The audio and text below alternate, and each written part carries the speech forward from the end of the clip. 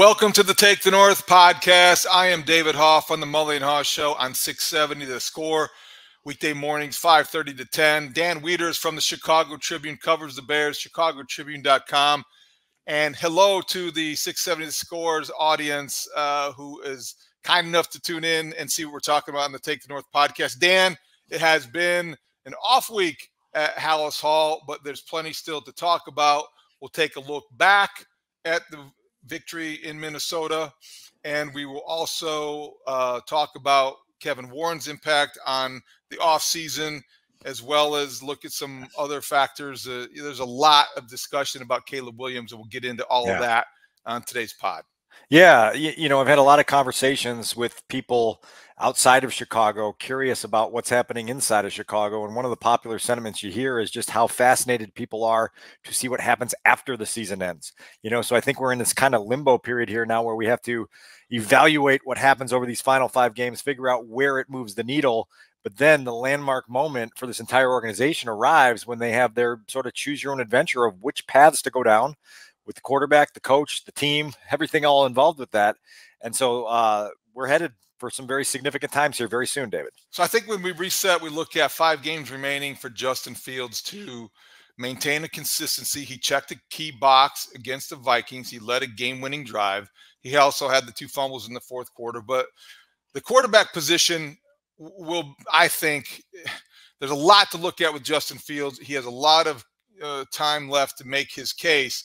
And yet, I wonder if it all could be a moot point if they end up with the number one overall pick, and if they conclude you can't pass a chance to get a quarterback of the caliber of Caleb Williams. So I do wonder where that is headed. We also have kind of as the backdrop to all that the head coaching situation. Matt yeah. Eberflus might end up with a historically bad two seasons in uh, for the Bears, and we know what happens to coaches these days in the NFL. There's not a lot of patience.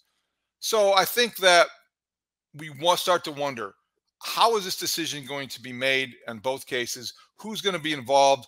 Which brings us to Kevin Warren, who came here about a year ago and yeah. was hired about a year ago. And he was priority one was the stadium project, which we haven't talked about in a long time. But Dan, you've known Kevin a long time. You covered him when you covered the Vikings, and you've written some great stuff on him. It's hard for me to imagine a guy, a leader that involved not having his fingerprints all over any of the processes we just described.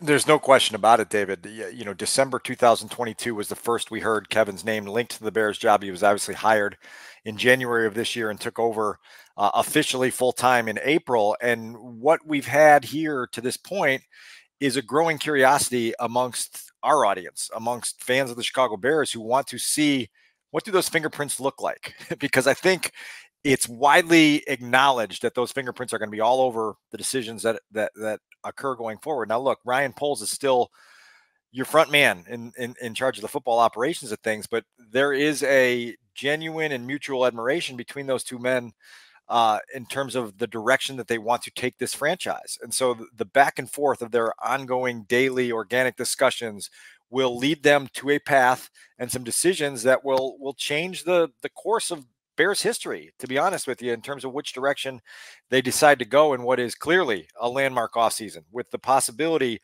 for the first time in a long time to kind of gracefully marry up your head coach and your quarterback, you know, in a way that sets up a developmental runway uh, that that that should point you in the direction you want to go. Now we can have a further discussion on what that means for Matt, what that means for Justin, how it all kind of creates this uh, murky territory right now at the start of, of December 2023, but there's a lot ahead of us. Well, just want to understand this. So you believe, and I think most people assume that in this equation, when we're starting to speculate about the futures of, of the key members, the key guys in each organization, Ryan Poles is safe because Kevin Warren feels like he is the right person to put the roster together that can win a Super Bowl. It's an educated guess by me, and I, I, would I would say that just from the standpoint of things that you and I have previously talked about in terms of viewing the work that Ryan Poles has done in his job in two years and understanding that he hasn't had the chance to make that huge decision at the quarterback position. He did he made a, a significant decision last spring when he decided to kick the can down the road and and and give Justin one more opportunity. Well, now this is a chance to really say what you want to do with that position, whether that's sticking behind Justin with with you know full confidence or pivoting into a new direction and then trying to figure out what you do uh, to set up a, again a developmental plan for that quarterback with the coaching decision. I just know that you know in the spring and summer the the connection was profound between Ryan and Kevin and I haven't witnessed or experienced anything in the course of this season that would lead me to believe that that was suddenly obliterated. I could be wrong. You know, we could be talking about this in six weeks and going, man, does that does that look stupid? But that's just kind of. I, I think that's an accurate read. That's the way I, I, think I would look at it too, just based on. I, I don't think that we can read too much into body language, but I just think optics, and we know that Kevin Warren cares about optics. I think, in contrast, I do wonder about uh, somebody as powerful and as polished as Kevin Warren is. I, I do wonder what he thinks every time Matt Eberflus speaks. And, and I don't think that you want to overstate, you know, the value of these weekly, daily press conferences or opportunities to shape perception. But I do think that when you see the product on the field, um, you want to see improvement or something headed in the right direction. You could point to the defenses that's happening. You could look at the offenses, wondering still where that where where the progress and where it's all going. But I do think that boy, somebody who cares about identity and image and intangibles as much as Kevin Warren does, he had to have had a few cringeworthy moments throughout the course of the season as Matt Eberflus held court at Halas Hall. Well, look, I think the cringeworthy moments aren't just limited to the lectern at Halas Hall. I think that it, it goes with what the product on the field has been for a large chunk of this season, for a bigger chunk of last season. And and when you understand the identity of Kevin Warren, which is a, a, a think big, swing hard mentality, y- you understand that you're going to go for something huge. And I don't think there's anyone in the league that that thinks, okay, like Matt Eberflus is this galvanizing leader that can't be replaced in a way that you know pushes momentum uh, in the direction that the Bears needed to go. And so I, th- I think when you have an opportunity like the Bears have and are going to have here in a month and a half, you have to give yourself the freedom and the luxury of dreaming as big as possible. You know what I mean? And, and, dreaming the biggest of dreams until they're no longer possible. And so that I think is the starting point for for what Kevin Warren's vision for this organization is with everything he does, whether it's putting together a stadium plan, whether it's figuring out which direction they're going to go with the football team. There's a lot here, and I don't think you can separate the two entirely, right? Because you know we do know we're years off from a new stadium opening, but I think you want to have the foresight to set yourself up for an opening where you go, we're not just opening a stadium, we're opening a stadium for a team that is ready to compete for the biggest prizes in the sport you know yeah. and this is your chance here to start to start that climb you know with, with with with the most important positions in your in your building. You don't want to be closer to hosting a super bowl than playing in one Can, and if you if you right and if you can if you can match them up great right? If that's the idea is that to have a team that's ready to play in a super bowl and then if you can build a stadium that can host one hey that's terrific. But here's what i think you're here, here's what i thought when, when you were describing this. We know when kevin warren came a year ago the word that we used a lot was ambition and and mm-hmm. taking big bold swings. And i think that in that context that's why i, I want to be respectful to justin fields and all that he still can accomplish in the final five games and all frankly that he's done in the past two to keep our minds open a little bit wider to the possibility that he can be the bears quarterback of the future. A lot of variables in play that allow that require the bears to show that kind of patience. But dan when you have Kevin Warren, and all we've said about him since he arrived was this guy takes big, bold swings and he wants greatness. That's why I think his his input and impact on the draft process is also going to be felt. If you have a number one overall pick and you're about to go the second year in a row with having the number one overall pick and not taking a quarterback, the most important position in team sports, and as somebody like Caleb Williams you don't get many shots at greatness. You don't get to step up to the plate and swing for the fences that right. often. And I think that's where Kevin Warren's presence is going to, I think, dictate what they do and how they handle it. So if you do have that number one overall pick and the Panthers lose out, then it will be great job, Justin Fields. We appreciate you increasing your trade value. We're swinging for the fences, and we're going to draft Caleb Williams. Well, look, like th- th- that's that's going to come down to the discussions that they have as a a football staff in conjunction with Kevin. I think it's too strong to say that Kevin's presence will dictate those decisions, but it will certainly okay. it will influence it. It will yeah. influence it, and there will be that's discussions, and they will yeah. be they'll be productive uh, discussions, and that that is one of the biggest things that we talked about in terms of the value of Kevin Warren when he was hired and he arrived, is that those discussions can be had at a more sophisticated level than they were had when Ted Phillips was the point man for Ryan Pace and before that Phil Emery. You, have got an opportunity to uh, sound things out, consider options, have a, a, back and forth, have some pushback on some thoughts, some eh, alternative philosophies, and then you just try to collectively come up with the best decision for the organization.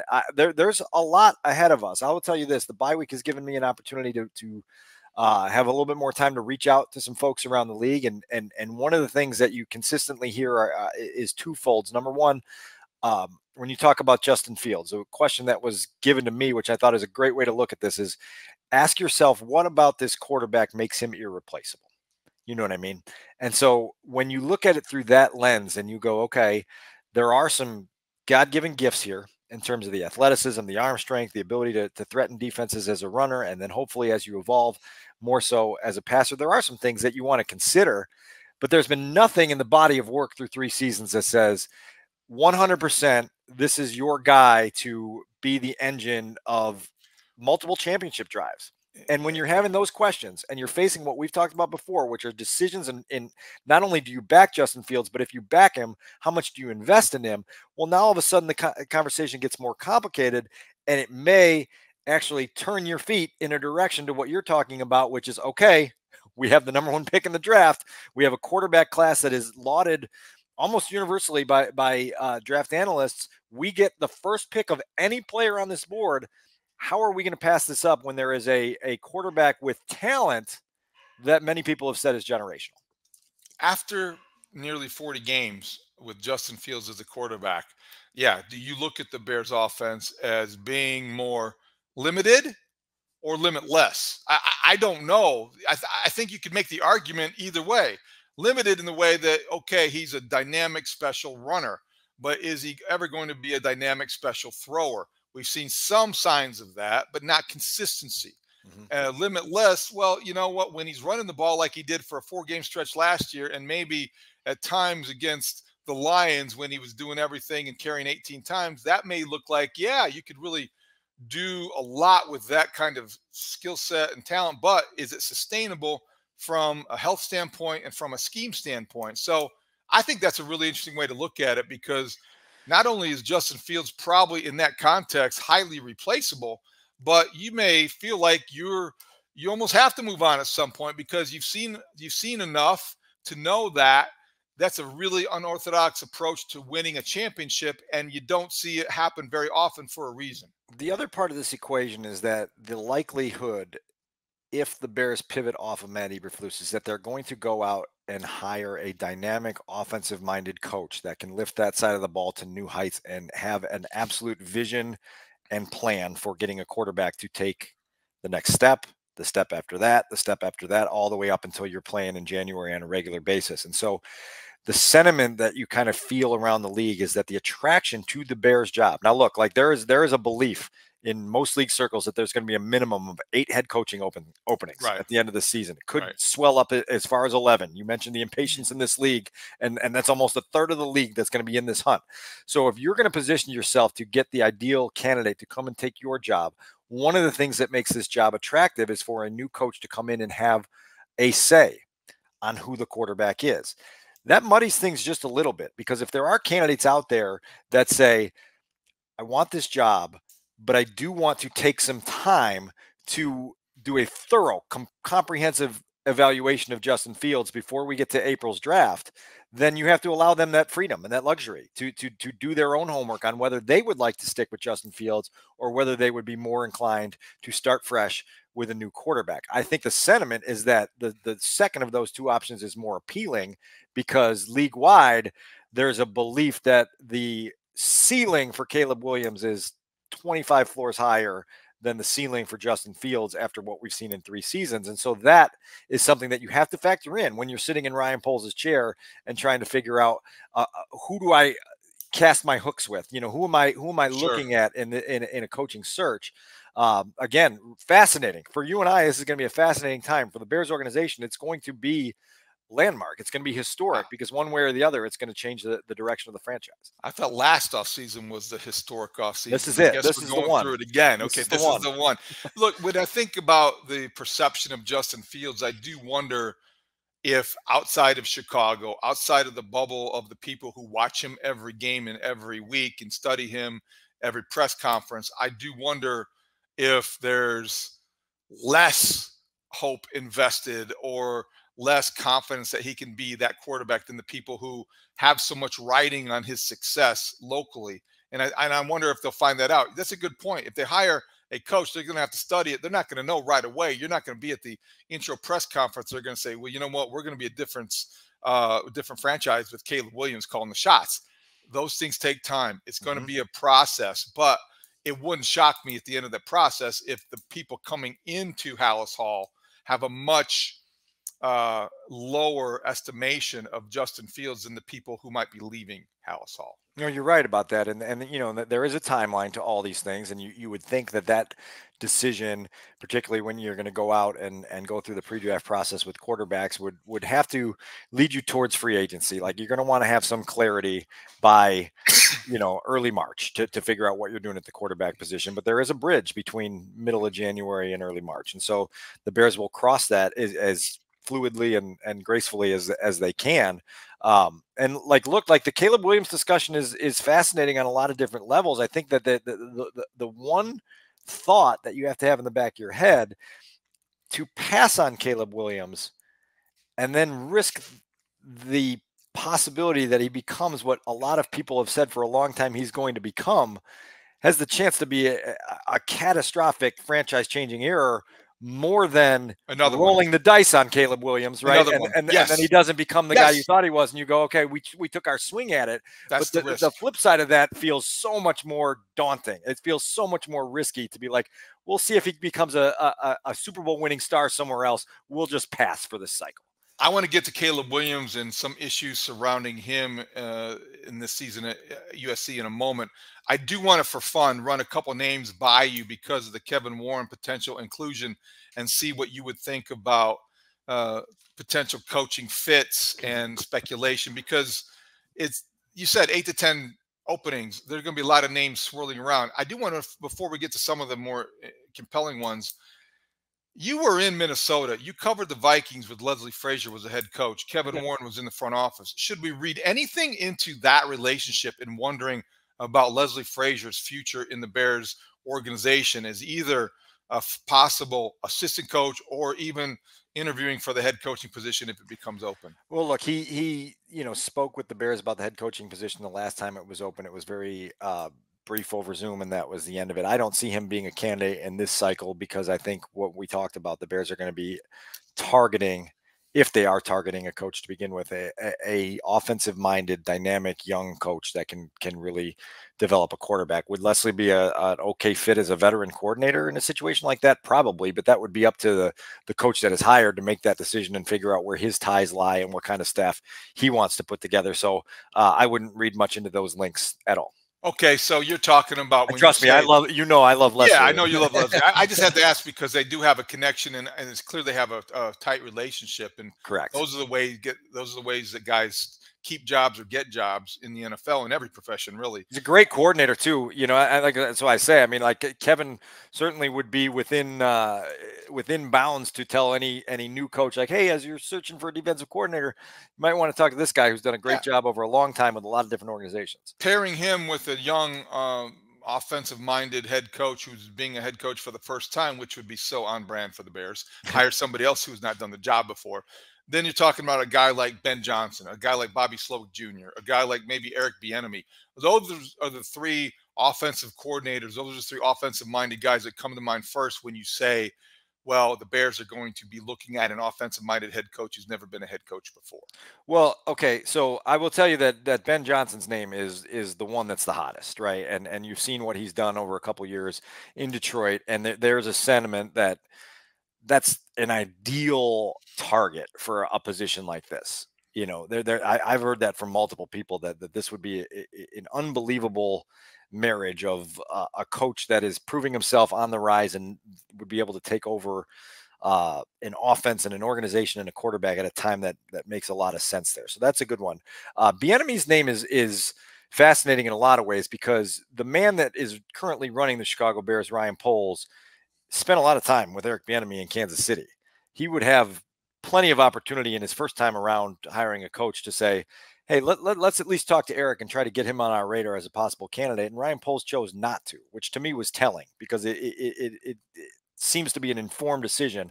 I think Eric Bieniemy has had north of a dozen head coaching interviews and yet to to land a job.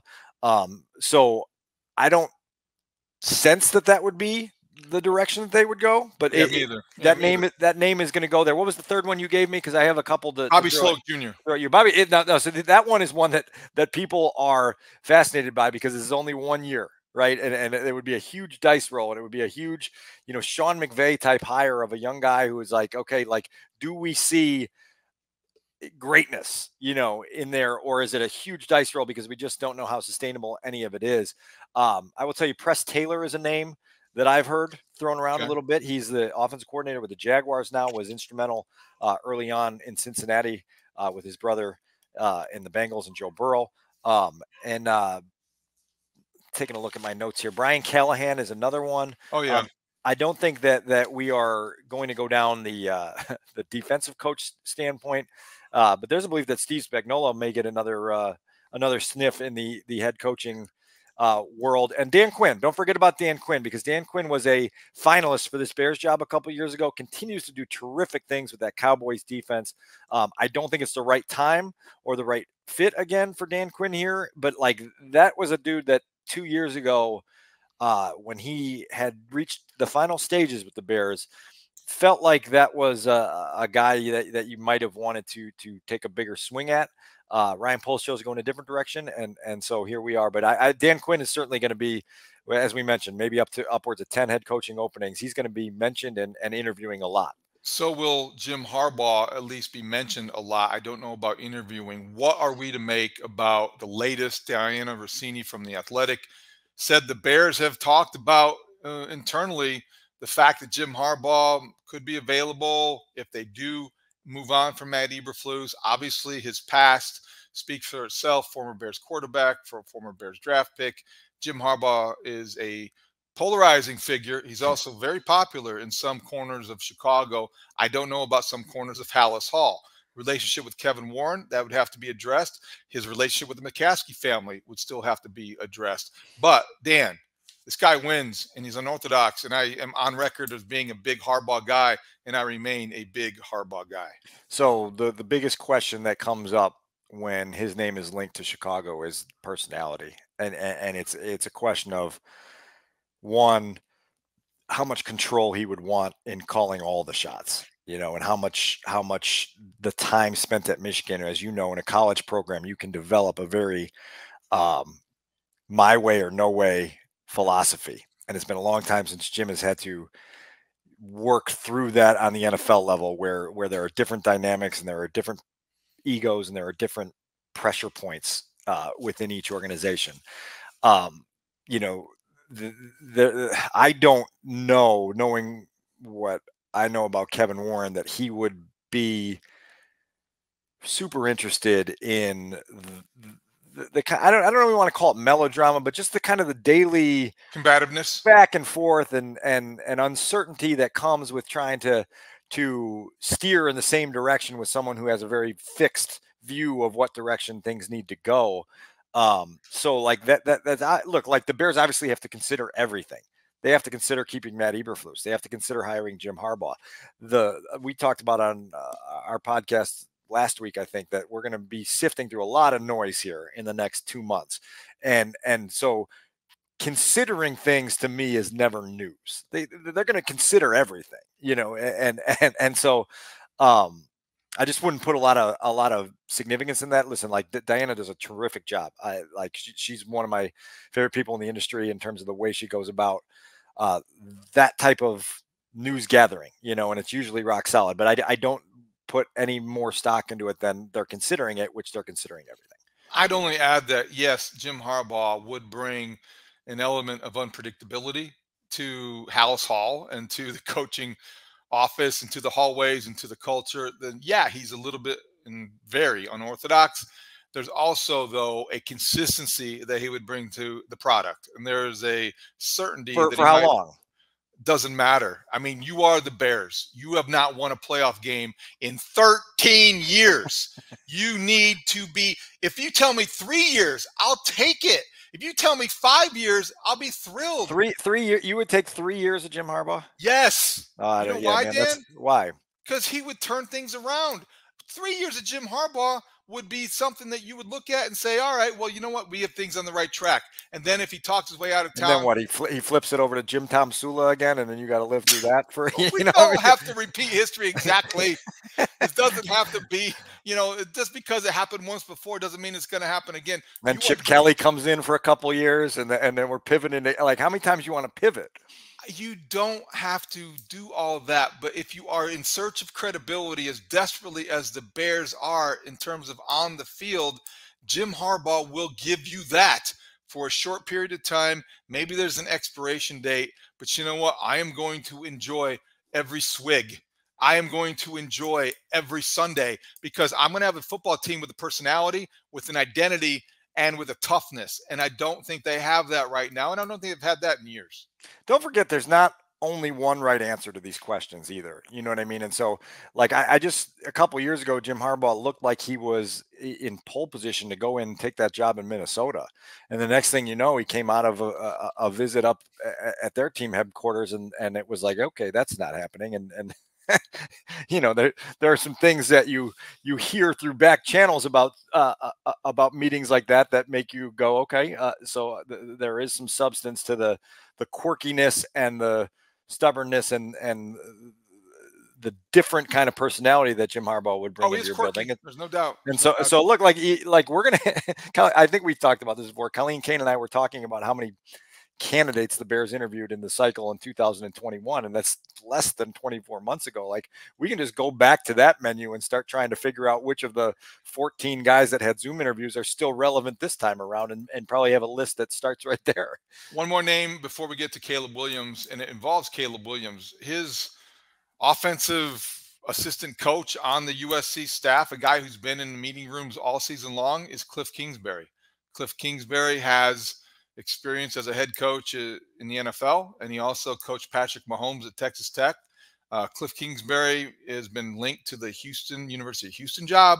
He's interviewed for some offensive coordinator positions, but I do wonder if the Bears job becomes vacant and it looks like they have a chance to draft Caleb Williams. Would two and two equal four, or is that too big of a leap? Probably a, a pretty big leap after the way Cliff left the NFL fairly recently. Would you consider Lincoln Riley too? Uh, I don't know about that. I don't know. I don't know if I'm as high on Lincoln Riley as some people are on Lincoln Riley. I just asked about Kingsbury because I do think he probably concerned some people with his uh, rather abrupt hiatus uh, and, and leaving um, the United States for an indefinite period of time. Didn't he take off to Thailand? Wasn't he the guy that did that? This is news to me, but it might it might have. I I, I will get on the Google machine when we're done here. And... well, yeah. So uh, points well taken, but I just thought it was interesting because his name. Everybody who is linked to Caleb Williams might have uh, a conversation. We'll have a conversation about just to see. Well, you know what? Did they have a chemistry um, with him because he looks like he could emerge as the consensus number one overall. Note to pick. self: search Cliff Kingsbury, comma Thailand. There we go. Be careful with those. yeah, you make sure you use your own home computer. Um, SFW. Yeah. So, uh, all right. Speaking of Caleb Williams, good story in the LA Times about Caleb Williams. Really good postseason. Um, he had a, a event with his foundation. He's got a foundation. These NIL kids have a lot of sophistication coming out of college now in terms of their charitable works and just their business savvy. I think that Caleb Williams is somebody who he admits in that story in the LA Times has to have a better control of his emotions. So that concerns you on one level. If you have a franchise quarterback who has maturity issues that he acknowledges, at the same time, boy, does he have potential. And I think that would be something that might be what I would focus on over the other concerns.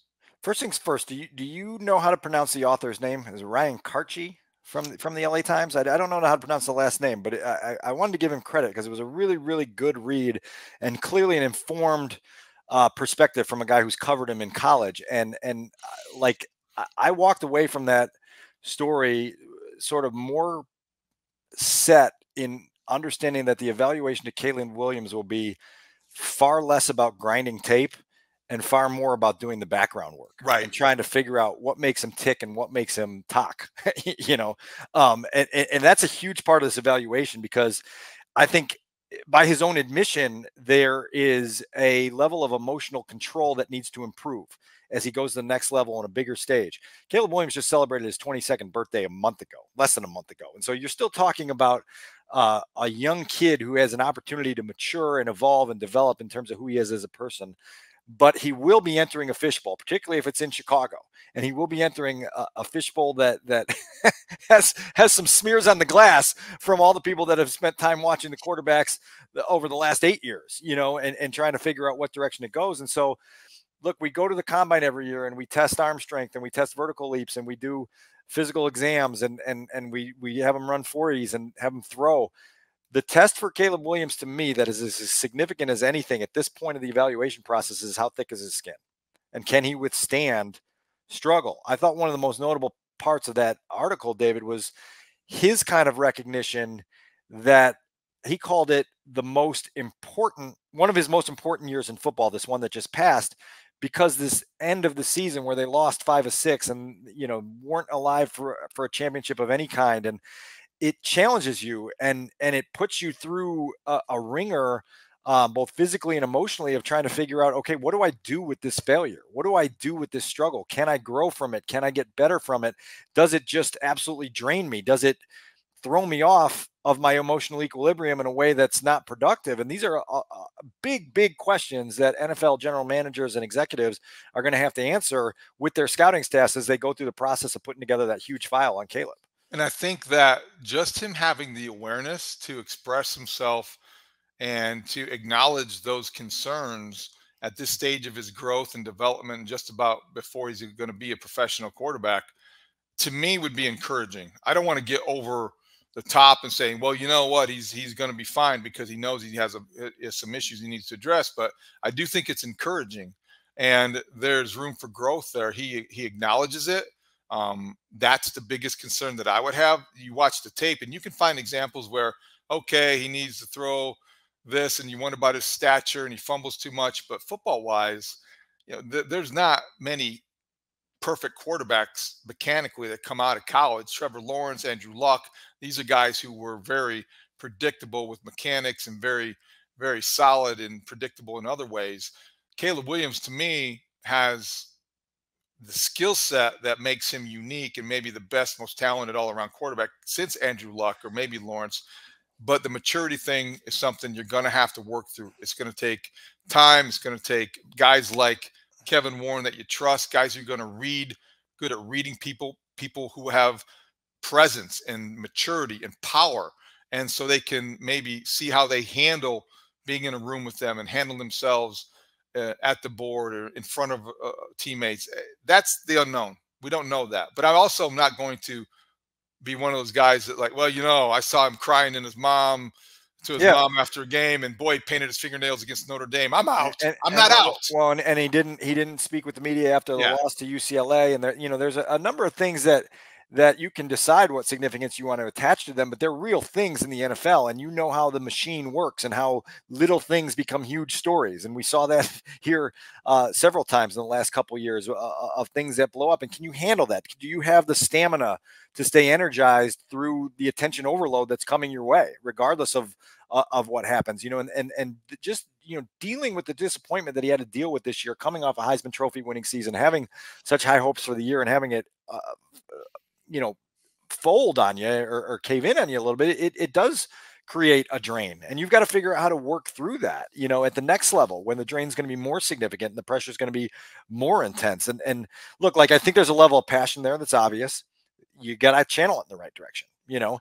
Um, and and so that it's going to be fascinating for NFL teams to explore that. I will say that like when we talk about the thick skin test, it, it, this is an opportunity to give another double thumbs up to QB1 right now, Justin Fields. And the three seasons of his ability to handle this roller coaster is one of the most impressive things about that dude as a person. And and it's worth pointing that out because if you could borrow that and give it to any quarterback that would play here in Chicago, you would take that in a heartbeat.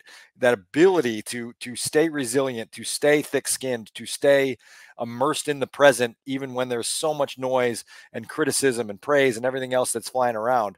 Justin has done a, a, a terrific job of staying level with that, and you would hope that the next quarterback you bring in can replicate that as much as possible. And I think you saw some examples of that and evidence of that in the post-game locker room scene, where after yeah. Eberflus addressed the team Justin Fields stepped forward and apologized and thanked his teammates for bailing him out. And the reaction to him shows you uh, things that you just it's described. Really genuine, right? Yeah. Don't you think the whole the whole the whole thing was yeah. genuine, and you, and you like that? You know, you like to see that.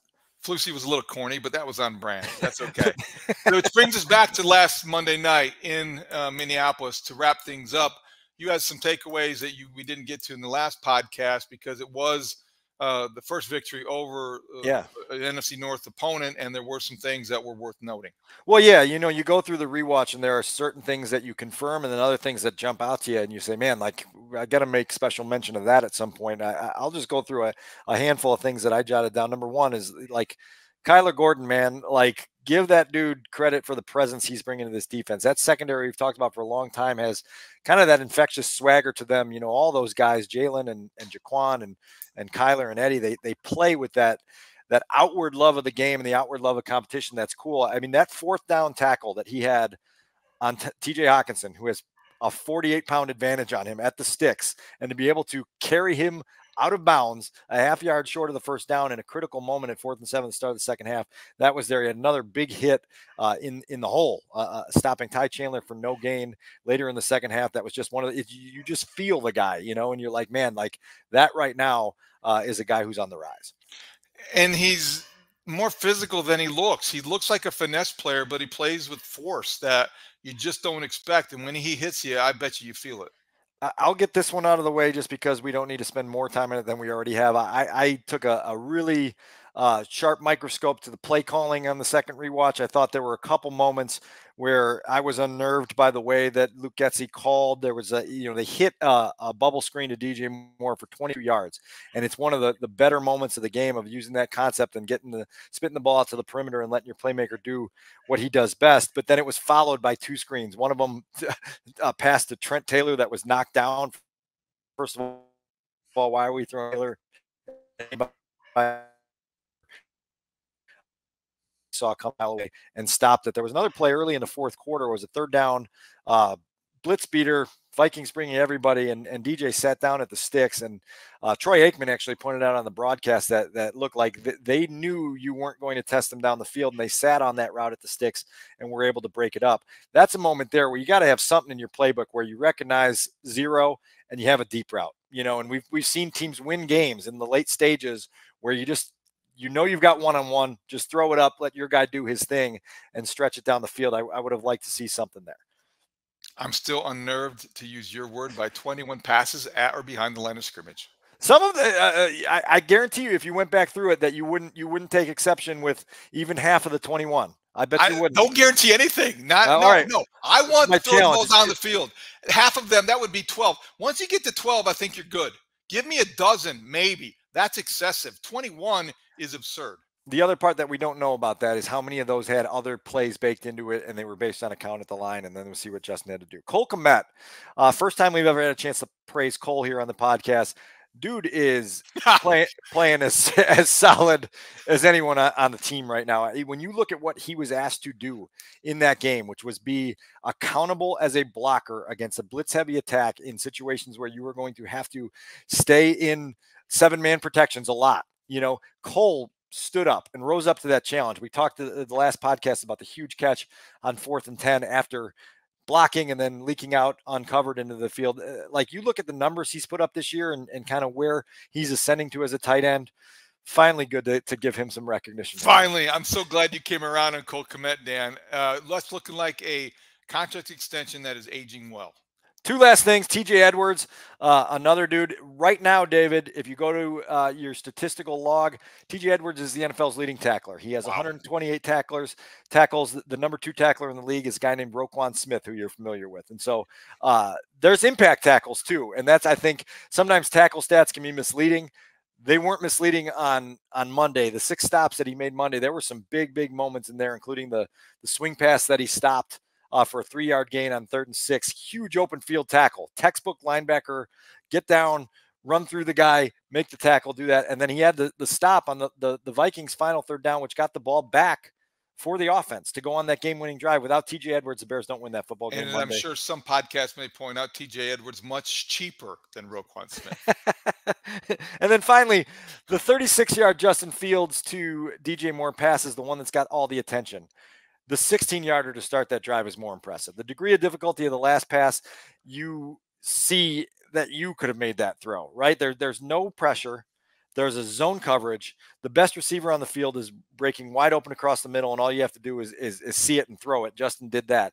But the first play of that drive required Justin to get out away from some traffic. He looked at his check down to Roschon Johnson and saw that that lane was congested, decided not to go there, extended the play with his legs, was able to get out, find DJ across the middle, and, and do what Justin is now doing better, which is kind of puppeteering the defense into am I going to run? Am I going to throw? Am I going to run? Am I going to throw? You make a decision. I make a decision. And they came up. DJ Wonnum came after him. He hit DJ Moore 16 yards to start the drive was bigger than anything that happened to finish the drive. And so I wanted to put some spotlight on that as well. That's true, but a solo home run in the ninth inning to win a game means more than the one that goes 450 feet uh, in, in the third inning. I get what you're saying, but the 36 yard one is the one you're going to remember next in six months.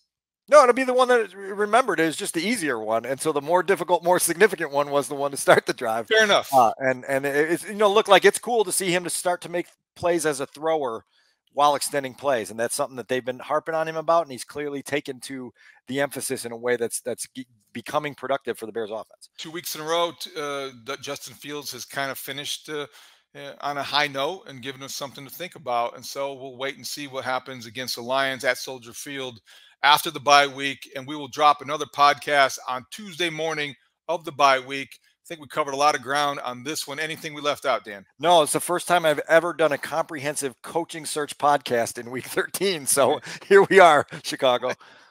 welcome, welcome to town. You're not exactly new here. That's the way it goes. All right. For Dan Wiederer and Adam Studzinski, our producer, thank you to, for listening to the Take the North podcast on your free Audacy app or wherever you get your podcast. You can watch us on the 670 Scores YouTube page. We'll be back next Tuesday with another pre Lions podcast. Thanks for listening. Great talk. See you out there.